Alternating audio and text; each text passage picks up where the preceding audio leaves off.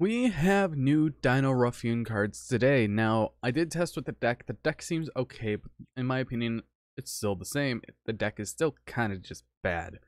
Now, in this art, it does tease that we're getting another monster, most likely, because usually all the fusions have a monster to go and coincide with it, which I think it's going to be this one right in the middle, because we have seen left and right but let's see what we have. We have Dino Ruffia, Rexstrom, and it is a level 8 Dark Dinosaur Fusion effect with 3000 attacks, 0 defense. One Dino Ruff, or Dino for it, Dinofia, Dinor? Yeah, Dinorphia fusion monster, and one Dino, Dinofia monster. So you need a fusion monster and a normal monster from the archetype. That's actually fine. You can use the second and third effect of this card's name once per turn each. Monsters your opponent controls with attack equal or higher than your life points cannot activate their effects. This is an interesting floodgate already. Quick effect pay half your life points. Until the end of this turn, the attack of all monsters your opponent controls become equal to your life points. If this card is destroyed by battle or by card effect, you could special summon one level 6 or lower Dinorphia monster from your graveyard. So, overall, this is a very good fusion for the deck.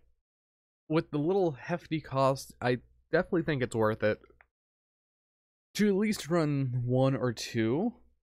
But we have Dinorphia Frenzy as well. It is a normal trap, and you can only use activate a card with this card's name once per turn. First effect during your opponent's main phase, pay half your life points. Fusion summon one Dinorphian, Dinorphia fusion monster from your extra deck using one monster from your deck and one monster from your extra deck.